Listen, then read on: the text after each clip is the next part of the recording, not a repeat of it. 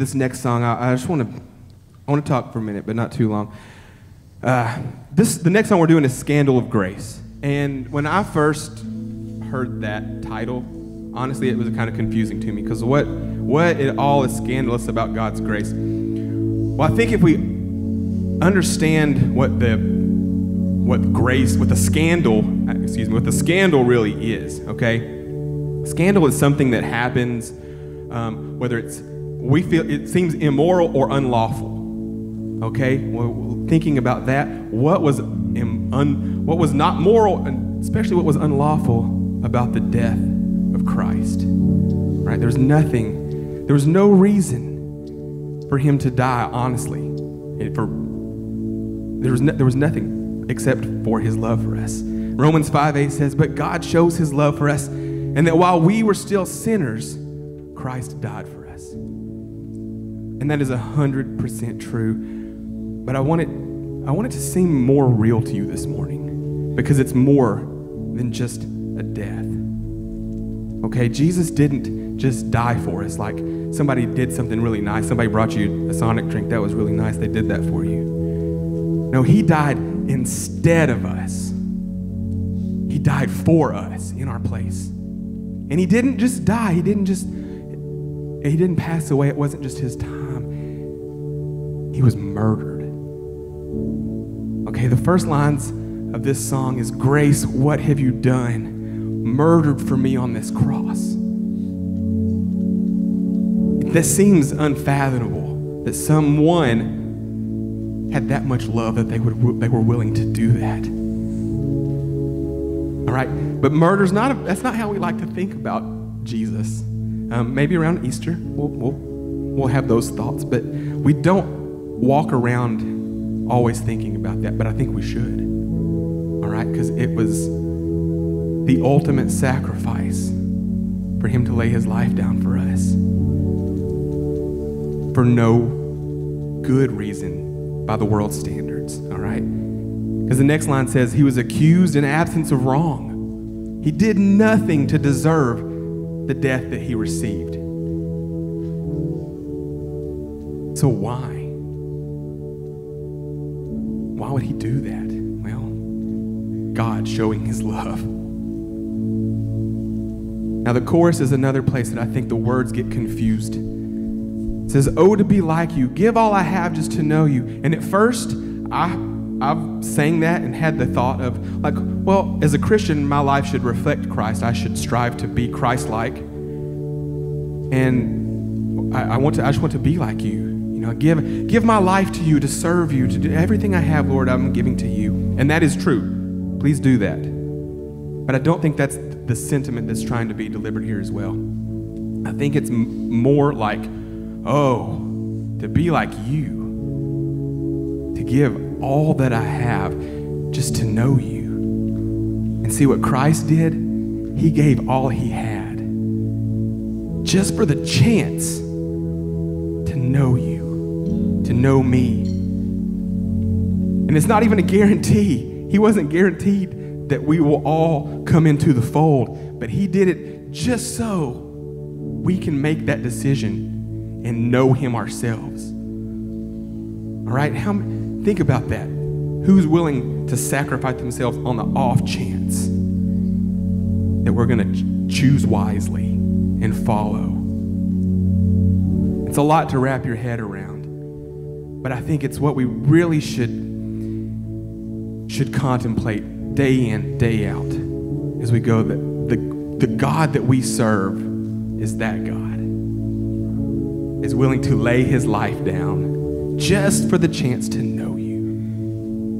Right? Ponder those thoughts as we sing here. Grace, what have you done?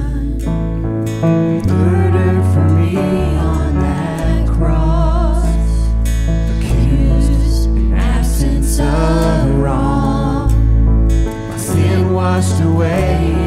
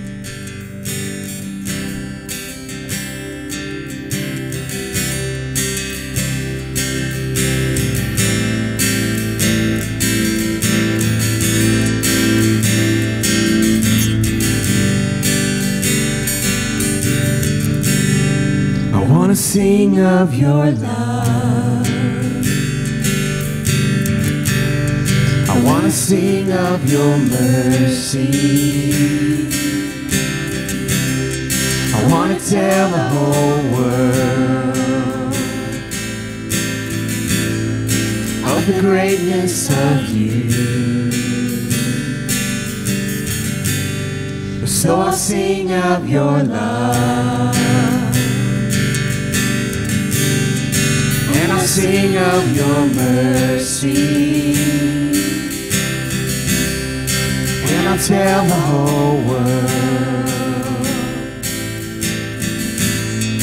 of the greatness of you. Jesus, we lift up your name. Jesus, we lift up your name. Jesus, we lift up your name. Jesus, we lift up your name.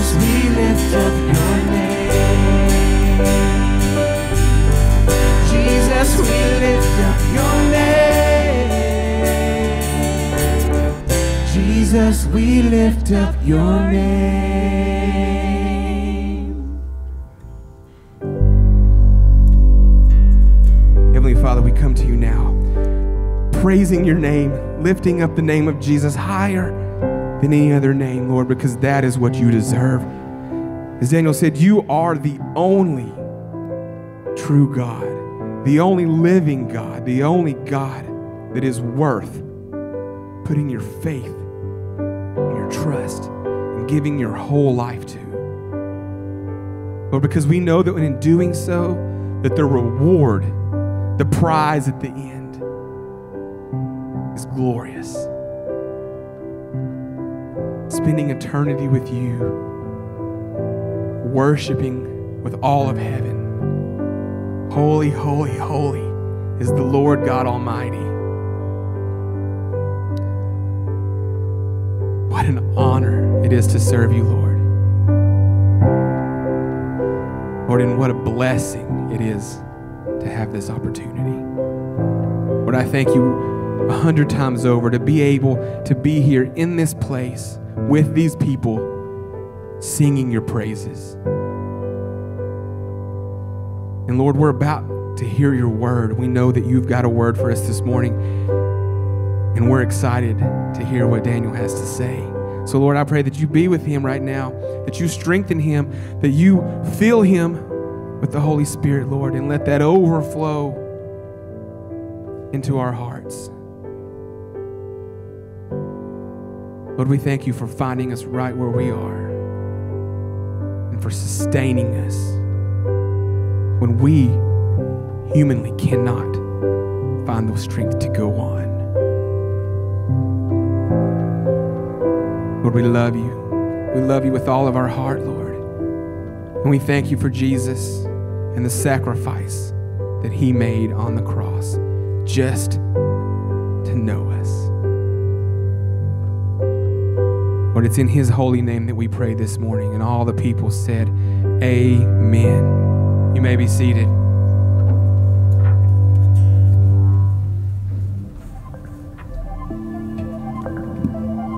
All right, prayer. All earthly things with earth will fade away, but prayer grasps eternity. But I'm convinced of this God does not hear prayer, He hears desperate prayer. Prayer is not a position, whether you kneel. Prayer is not a position, it's a disposition. You get to the place where you'd rather sweat, you'd rather weep in His presence than laugh in anybody else's presence. You'd rather God whisper a secret into your heart that breaks you than somebody give you the prizes that all the world covets. Prayer is almost the greatest human privilege that we have.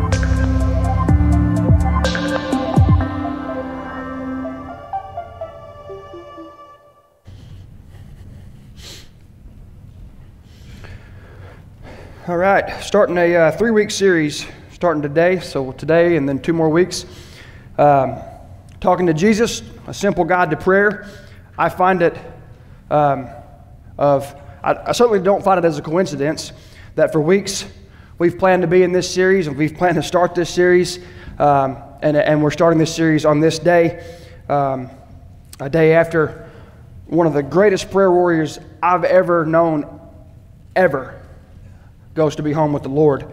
Um, so it's just it's just fitting that we're starting this uh, starting this today. Um, prayer is something that gets asked about a lot. I think it's something that uh, many of us followers of Jesus struggle with uh, from time to time, sometimes more than others throughout our walk with the Lord. Um, it can be confusing. It can it can be uh, difficult because it seems like you're not doing it right or it seems like it's ineffective. Uh, you're just not sure. Uh, how do you do it? All of those types of things. Of course, Jesus' disciples asked Jesus the same thing How do you pray? Teach us to pray, Lord. So, this is a question that's been around and, and that I think followers of Jesus have, have always been asking since the very beginning. It's a great question to ask. How can I pray more effectively? Even if you know, even if you, even if you do it often, how can I pray more effectively? How can I communicate with the God of the universe more effectively because that's really all prayer is, is communication. It's communication with God and God communicating with us. And I think that's one reason why prayer is difficult because communication is difficult. To communicate clearly from human to human is not an easy thing to do, much less we feel so inadequate to communicate with the God of the universe.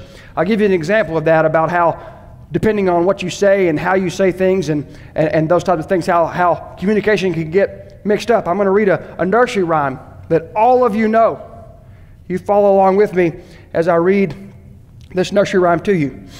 Scintillate, scintillate, globule vivific, fain with I fathom thy nature specific, poised in the ether capacious, strongly resembling a gem carbonaceous. Do y'all know that nursery rhyme? Of course you do. Let me read it differently. Twinkle, twinkle, little star, how I wonder what you are up above the world so high, like a diamond in the sky. Exact same words, exact same meaning, or different words, but exact same meaning. The first one, you had no idea what I was talking about. The second one, that makes sense. That's communication. Sometimes it's not what you know, it's can you get it across to the other person. I think God wants to get a lot across to us. He wants to communicate to us. He wants us to spend time in prayer with Him. when it comes to communication, uh, I've got several funny stories that I could tell, but there was one that I was thinking about this week. I just couldn't get it out of my brain about miscommunication, I guess you could say. So, one time, uh, my dad and my stepmother were on the way home. They had gone to Dallas and they were on the way back from Dallas. And uh, my dad, to put it nicely, is difficult of hearing. Dad, if you're watching today, as you are often, please, for our family's sake, get some hearing aids for the millionth time. but my, my stepmother, uh, for medical reasons, is very difficult of hearing. Very, very difficult of hearing. So the conversations between them can get fairly entertaining uh, at times. So they were coming back from Dallas, and my stepmother had bought this jacket. And she says to my dad, my dad thinks, Do you like this jacket for you? Do you think it will fit? And he looks over at her and says, No. Because he thinks she asked, Do you like this jacket for yourself and do you think it will fit you? And he looked over at her and said, No. And he said, As we went down the road, the temperature in the car got a little cold. He said, I'm, He's thinking, I don't know what's going on, but something's not, not right. I don't, I don't know if you guys know what I'm talking about, but sometimes you can feel that chilly, that chilly temperature. And uh, so they get home, and she gets out of the car, doesn't say a word, goes inside the house, and my dad goes in. She lays the jacket down. My dad goes in. A few minutes later, he picks the jacket up and he tries to put it on. It doesn't fit. And he turns to her and he says, "See, this jacket doesn't even fit." And she turns and looks at him. She said, "It's my jacket." He goes, Wait a minute.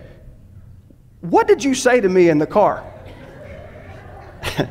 and she said, I said, I got this new jacket. Do you like it? Do you think it fits? Talking about herself. And uh, so, you know, they were mad at each other and, and, and all those, and there was for no other reason than miscommunication. Communication is difficult. It just is. It's not easy to communicate clearly, properly, and that's what prayer is. And so, really, I don't think we're going to unearth anything earth shattering. I really just want to talk about some of the basic things that Jesus says make effective prayer. Uh, and hopefully, between today and the next two weeks coming up, uh, we, we can be more effective in our prayer life because God desires us to be effective in our prayer life. So, we're going to look first at uh, Matthew 6. Now, Matthew 6 is right uh, in the middle of the Sermon on the Mount. That's what we call it, the Sermon on the Mount. It, it, it is the sermon of all sermons. It's when Jesus gives us this big, long message, and, you know, it's things that we still struggle with. It's like, here's who God really is, deal with it. And we're still dealing with it over 2,000 years later, trying to wrap our heads around it and live it out and, and be those things. Uh, it's a, this section that we're in is a broad section on worship in general how to properly worship in general, and then we're, we're, we're dissecting out a little slice of how prayer fits into worshiping in general. So if you didn't know, in Scripture, Jesus prayed and he talked about prayer. And so that's kind of what we're going to dig into this morning. Matthew 6, starting in verse 5. Whenever you pray, Jesus talking, whenever you pray, you must not be like the hypocrites, because they love to pray standing in the synagogues and on the street corners to be seen by people. Truly I tell you, they have their reward. But when you pray, go into the go into your private room, shut your door, and pray to your Father who is in secret. And your Father who sees in secret will reward you. When you pray, don't babble like the Gentiles, since they imagine they'll be heard for their many words. Don't be like them, because your Father knows the things you need before you ask Him. Therefore, you should pray like this Our Father in heaven, your name be honored as holy, your kingdom come, your will be done on earth as it is in heaven. Give us today our daily bread, and forgive us our debts as we also forgive our debtors. And do not bring us into temptation, but deliver us from the evil one. For if you forgive others their offenses, your heavenly Father will forgive you as well. But if you don't forgive others, your Father will not forgive your offenses. As usual Jesus, he's kind of on the nose when it comes to sharing truth because truth most of the time is kind of on the nose. It kind of just it hits you right there for what it is. Jesus gives some examples here and today we'll look at one and the next week and the next week we'll look at uh, the next two sections of what we can pull out of here. But I, I think there's three main things jesus is saying prayer needs to be must be should be. It needs to be sincere it should be submitting or in submission, and it needs to be synchronized. It needs to be in lockstep with God. So next week we'll look at submitting, and the next week, Lord willing, we'll look at synchronized. This week we're digging in to, to sincere. How to be sincere in your prayers, how to be real and authentic, honest in your communication with God. I believe God desires that from us, and I believe it will make our prayers more effectual as we look at that. So, just going back to what we just read there, back in verse 5, when Jesus says, Whenever you pray, you must not be like the hypocrites, because they love to pray standing in the synagogues and on the street corners to be seen by people. Truly, I tell you, they have their reward. But when you pray, us, followers of Jesus, but when you pray, go into your private room, shut your door, and pray to your Father who is in secret and your Father who sees you in secret will reward you. So, what is Jesus saying here? What is he saying? Is he, is he, is he saying and making the argument of versus private versus public prayer? In other words, private prayer is good, public prayer is bad. Is that what Jesus is saying? Anybody have an answer for that? Is that what Jesus is saying? That public prayer is a bad thing? It's wrong? Of course, that's not what he's saying. How do we know that? Because Jesus prayed publicly. and Jesus didn't do anything wrong, he never sinned. So if praying publicly is wrong, then Jesus was wrong. That's, that's not what he is saying. As I was, as I was going through this and studying it and really trying to, trying to kind of flesh it out for myself to, to bring it to you, I just kept coming back to that, that quote from Augustus McCrae. As I was going through this stuff, you know, it's, it's like, is it private versus public? Is it this versus that? It's like, when he's looking at Woodrow, he says, By God, Woodrow, you just never get the point, do you? I feel like God feels like that with us. Like you guys, you, we, you read my word, but you just don't get the point, do you? You just miss it. And, and it's not private versus public, it's sincere versus hypocritical. Don't be a hypocritical prayer, Jesus is saying. Don't be hypocritical in your prayers. He's not condemning public prayer by any stretch of the imagination. He's just saying don't only pray in public. In other words, if you, if you only pray in public and you never pray in private, then you're not praying to me and for me. You're praying for the benefit of those listening so they will think you're special. You're praying for the ears of man instead of to the heart of God. You're not praying for the right reasons. He's not against public prayer. He's just saying if you only pray in public, you're missing the entire point. Not only are you missing the entire point, you're just a hypocrite. And that's a word nobody, nobody likes to be labeled as. Nobody wants to be labeled as a hypocrite. See, The Pharisees, who he's talking about here, you remember at the beginning of the, the paragraph, the Pharisees, they practiced their religion for the applause of man. They were, they were, they were careful and strategic and bold and in practicing their religion in front of everyone so everyone would think how awesome they were. And it, it says there that it, the language used there the, about a street corner is like the, the original language would be a, referring to a part where a big, broad, wide street. In other words, a street where much traffic will be taking place. Okay, they're not worried about praying to God about things that really matter and, that, and, and about their own sin and all those types of things, but they're going to make sure that they're on that street corner, on that big wide street, and they're praying these big, magnificent prayers to show how righteous and how wonderful they are. And Jesus says, That makes me sick. I don't want to hear those prayers. I don't want to hear your hypocritical prayers. I want your sincere prayers, your honest prayers, your real prayers, the prayers that you would pray if no one was listening in your private room. I know many of you through the last several years have, have you know, you've added prayer closets or prayer rooms. I talked to a lady this past week uh, that's been visiting the church for several weeks, and she talked about how she puts her prayers in, in uh, dry erase marker on her bathroom mirror. She writes them down on the mirror because she said, That's a place I'm going to see every day. And she has them written down there, the people she's praying for and what she's praying for, and she writes it on a mirror. I was like, that's, that's actually really smart. You're going to look at that, you're going to see it, it's going to remind you to pray every day. I think those are great, great practices. I also think praying like we do on Sunday mornings as a congregation, that's a great thing. But if I get up here and I pray to you or pray t- with you up here, but I haven't spent any time all week personally praying, and seeking the face of God and seeking the Word of God, then when I stand up here and pray fr- with you, in front of you, to God, I am praying hypocritically. And I'll be honest with you, as I've dug into this this week, that's something that kind of hit me on the nose. God kind of said, Hey, buddy, where you been lately? Where you been lately? yeah, I mean, you prayed every Sunday, but where you been lately? Have you been, have you been seeking me? In prayer lately? Or have you just been passively praying to me lately? So I want, I want you. I want your time. And, and I, I, I prayed for forgiveness right there on the spot. I said, You're right, God. Man, your truth is difficult to swallow sometimes. Well, He'll put it right in your face. Jesus goes on and makes another comparison. He says, When you pray, don't babble like the Gentiles. Don't babble like the Gentiles, since they imagine they'll be heard for their many words. Don't be like them, because your Father knows the things you need before you ask Him. Therefore, you should pray like this. There's a lot of things in there, a lot of things that I, a lot of rabbits I could chase, so I'm going to not do that. But he says, don't babble like the Gentiles. I cannot think every single time I read that I think about the story we talked about a few weeks ago with Elijah.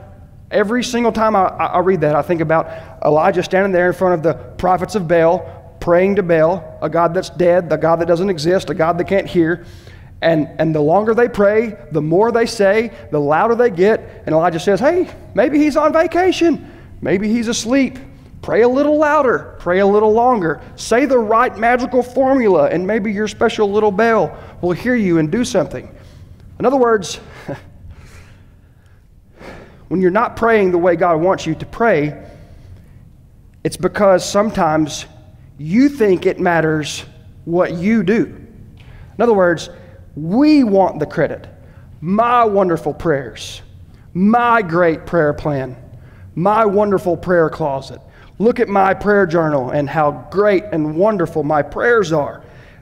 We can't make the focus of our prayers us. The focus of our prayers is who we're praying to. God doesn't need you to talk him into doing anything. Not only does he not need you to, you can't. There's nothing that you or I could say that would ever change the will of God. God wants us to pray and spend time with Him and communicate with Him so that He can affect us, not so that we can affect Him. We've got it backwards sometimes. I know that I have had that in my life. So is, he, is Jesus, again, is he making a comparison that Short prayers are good and long prayers are bad? He says, don't babble on. Don't, don't talk a bunch of words. Is that the point? No, Woodrow. That's not the point. Sometimes long prayers are coming straight from the heart, and there's sometimes there's a whole lot of things to pray about. And sometimes we'd be better off just to cut it off a little shorter and not babble on, thinking that if we just say a little more and say it a little more effectively and have the right combination of words, that somehow that will get God to do what we want Him to do. Again, it's not many words versus few words, it's sincere versus hypocritical. This is why this word is so near and dear to me personally and why I bring it out to us so often. It's why it's one of our three action words. I hope and I pray, literally, that we are a sincere church, an authentic church, a church that shows sincerity to each other, to this world, and to God. Sincere versus hypocritical. How can you say that? In other words, to be sincere, you have to pray with the desire to please God and to know God, not man. If at any point in time you feel your, your heart wanting to say something simply so the person you're praying with can hear it, then you've lost the focus of what the prayer should be. The prayer should be praying to God, to know God, to please God, to pray what He wants to hear, not so that man can pray, can, can hear what you say and say, oh, yes, very good prayer. Very good prayer. I, I really like the way you said those, those special Bible words. That was so, we're so proud of you for being such a good prayer. We talked earlier that, that uh, Jesus, not only did he talk about prayer, but he actually prayed. You know, Jesus' prayers are recorded, they're documented in the thing we call God's Word, in the Bible. Literal documentation of Jesus' words while on this earth to the Father, numerous places. We're going to look at three this morning. And as we look at these things and as we talk about sincerity and, and we dig further deep into this, just think about this quote from Warren Wiersbe. This, this, this quote just, it's been, uh, I can't get it out of my head. He said, We have no right to ask God for anything that will dishonor his name, delay his kingdom, or disturb his will on this earth heart check on your prayer life. Is what you're praying for, is there any possibility that will dishonor the name of God, that it will delay his kingdom?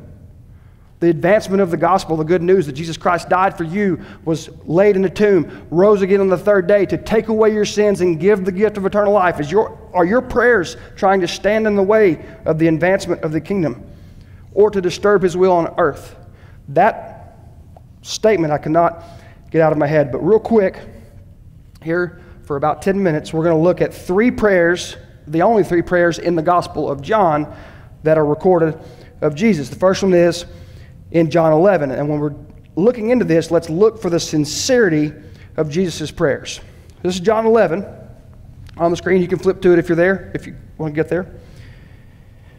It says, So they removed the tomb. Now, this is when Jesus is going to deal with the problem that his, one of his best friends, Lazarus, has died.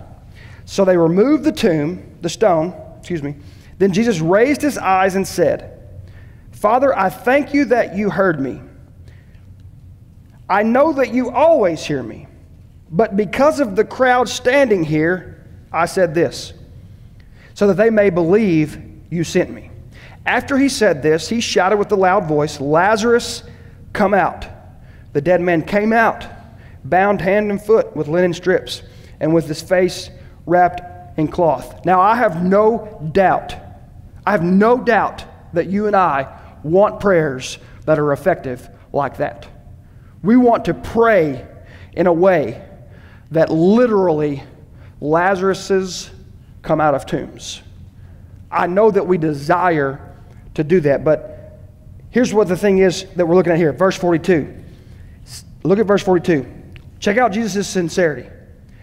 I know that you always hear me, but because of the crowd standing here, I said this. He said, Father, I thank you that you heard me, but I know you always hear me. But the reason that I said that is so the crowd knows that you sent me. Okay? So, what am I saying?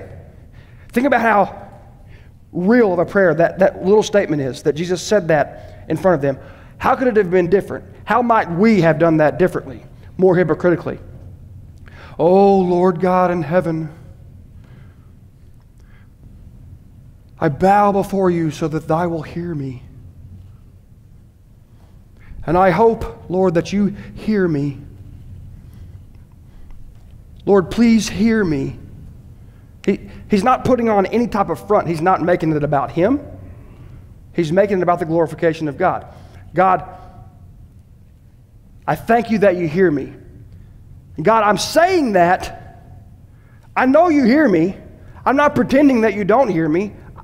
I'm saying that because these people need to know that you hear me and that you are the one that gets the credit for what's about to take place. You get the credit for what's about to take place. He's not making it about him. He's not making it about, about anything, anything other than the glorification of God the Father. God the Son is, is praying in a way that God the Father and only God the Father can get the glorification, the credit, the fame for what is about to take place. Such a simple, simple prayer, such a sincere prayer. Very different prayer if that part of the prayer is not in there. Another prayer, another time, Jesus prays. John chapter 12, verse 27 says, Now my soul is troubled. What should I say, Father? Save me from this hour? But that is why I came to this hour. Father, glorify your name. Now, these chapters here is, is not very far from the crucifixion. And, and, and Jesus is kind of given last, last instructions, last teachings to his disciples, and, and, and last prophetic sayings that are going to take place before he goes to the cross. And he says there, Hey, my time's come, but he says, My soul is troubled. Is that something you think that God walking the earth as a man that's facing what he's about to face would say? That's not what I would say if I were Jesus. I'll get real with you for a second. Think about it. This is Almighty God, can do whatever He wants, whenever He wants, however He wants. Has the power to call down legions of angels, He says. But that's not what He says. Because He's feeling human emotions, and He's feeling what it likes to be human and he knows what's coming, and he knows the wrath of God is about to be poured out on him on the cross, and he feels all of that. I would have said, My time has come. Bring it on. That's what I would have said. Oh, you want to arrest me, do you? Think you got the power to kill me, do you? I mean, I would have, that's not the way I would have responded. But Jesus feels that emotion and, and says to God the Father, My soul is troubled. this human thing, it hurts. God, Father, this is hard. Wow. To know the pain I'm fixing to feel. It's troubling. I don't know about you. That's the only God I've ever found as I search this world that's worth giving my life to. That God. That, that God that's, that was willing to come down here and feel what this feels like and experience what this, was, what this feels like. Not because he had to, because he wanted to. So that he could identify, so that he could be our high priest and could identify with what it feels like to live in a sinful, broken, painful, difficult world. That's a God worth giving your life to. Says, God, my soul is troubled. That's a sincere prayer. We don't need to come to God and act like things don't bother us. We just don't need to do it.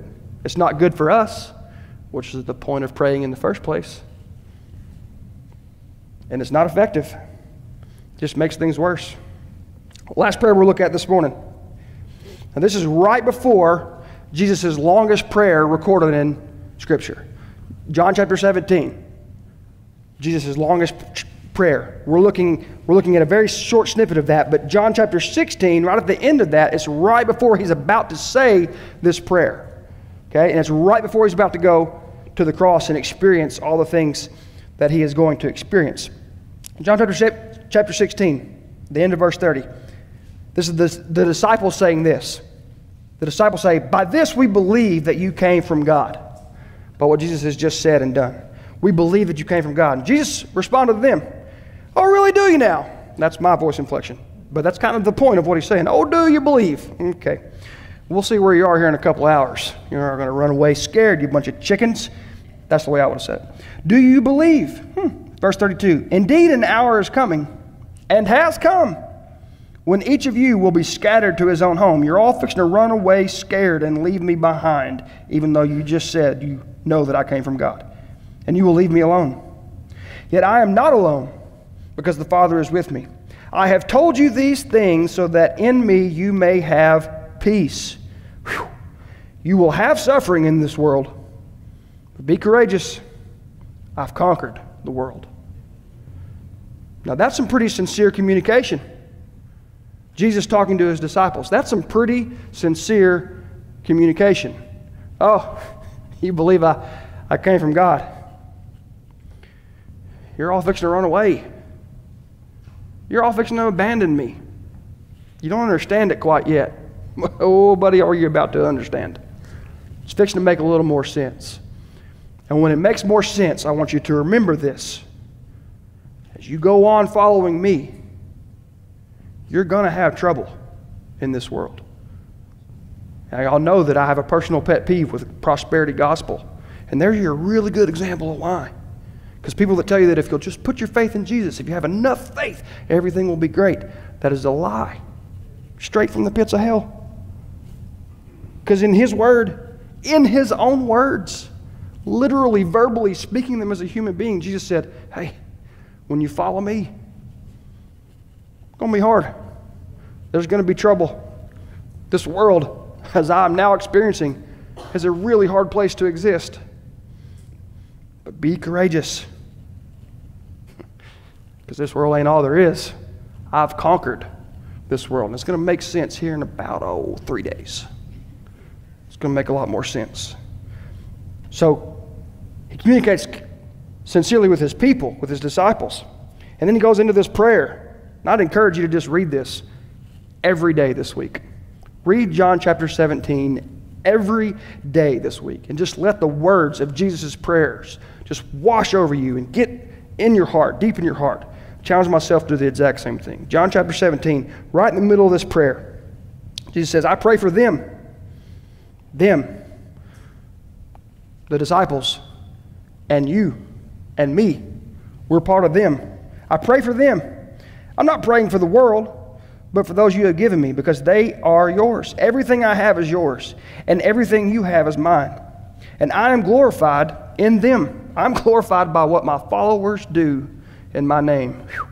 There's your responsibility. There's you something worth living for. I'm no longer in the world, but they are in this world. And I'm coming to you. Here it is Holy Father, protect them by your name by your power, by your authority that you have been given, excuse me, that you have given me, so that they may be one as we are one. Jesus says, Hey guys, it's going to be hard. But be but be courageous. I've overcome all this hard stuff. Hang in there. And then he goes into prayer and prays the exact same thing to God. God, protect them. Protect them. And then catch what he says there. Protect them so that they may be one as we are one. Protect them, God, so that when trouble comes, trouble won't divide, because trouble divides. Trouble can bring division. Pain and suffering and difficulty can bring division. It's going to make them question. It's going to make them wonder. It's going to make some of them go, you know what? I didn't really mean it. I'm out of here. But God, protect them from evil. Protect them from that keep them together, keep them unified. He, he prays for our unity because God unifies his people. There's no difference between you and me or any other human being that's ever lived that has placed their faith in Jesus Christ. There's no more value in any single human being that has placed their faith in Jesus over one another. We're all in this thing together. We're all in the world, as Jesus says in this prayer here. Protect them, Lord. Protect them. So finish up like this Be sincere with your prayer. Pray with the desire to please and know God, not man. Pray with the desire to please and know God, not man. Be sincere in your prayers. Which brings up a question, and nobody likes questions. So here's a question that I hope just digs deep down in your spirit and mine as we leave here today and as we go out and pray as the days come. Are your prayers sincere or are they hypocritical? Is your prayer life sincere? Do you express things openly, honestly, and with care to God the Father?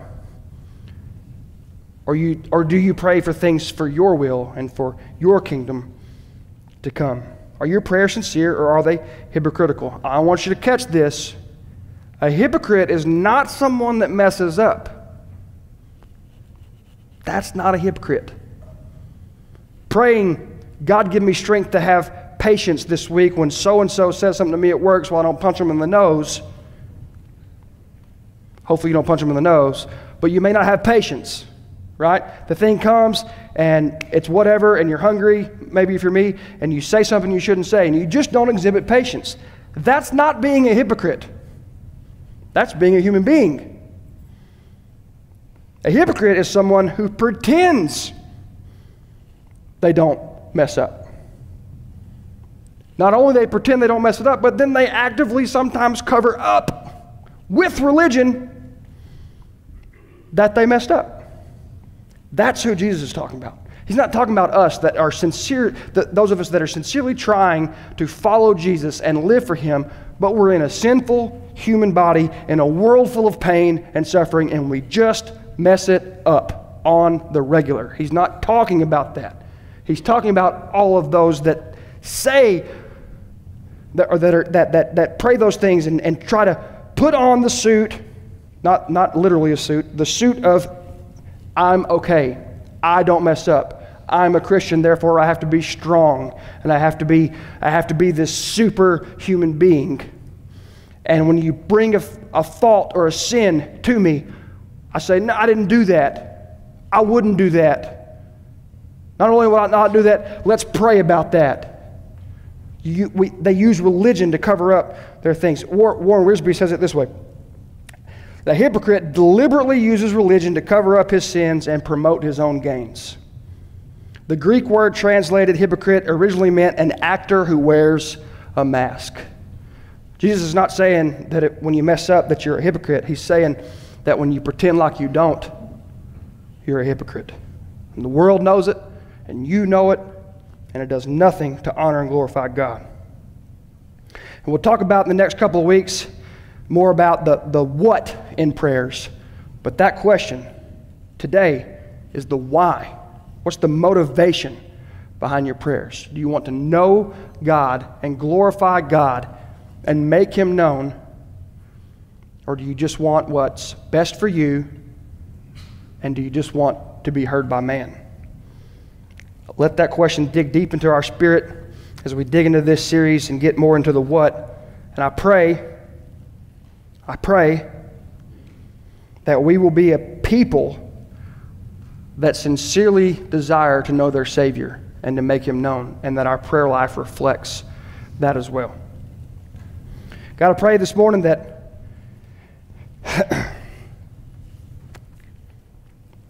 that I'm, as the pastor of this church, God, that I'm, I'm, I'm as or more real with you when it's just you and me than I am right now when I'm saying prayers like this, God. Lord, don't, don't allow us to be hypocrites. Don't, don't allow it, Lord. Whatever needs to be in our way, whatever needs to open up our hearts. Lord, help us to desire to know you and to make you known. And that in our prayer life, we reflect that desire, God. That we have a prayerful dependence on the God of the universe instead of a prayerful list of the things you need to know and do.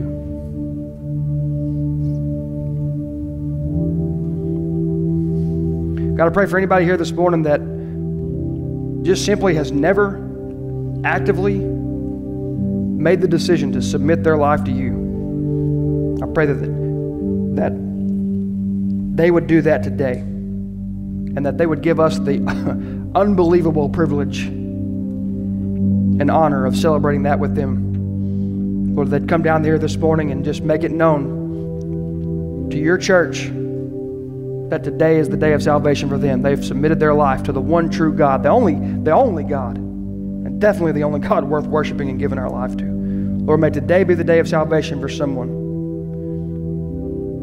because of what you've done.